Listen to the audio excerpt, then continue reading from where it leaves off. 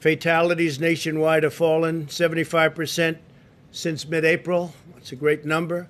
As cases and fatalities rise in certain hard hit states, which you're looking at right now, we're surging personnel, supplies, and therapeutics. We again have tremendous amounts of supplies. We are in very good shape and we can move them quickly. Our case fatality rate has continued to decline and is lower than the European Union and almost everywhere else in the world.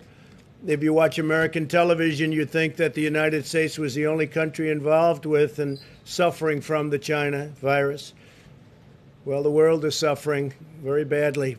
But the fact is that many countries are suffering very, very, very badly. And they've been suffering from this virus for a long time.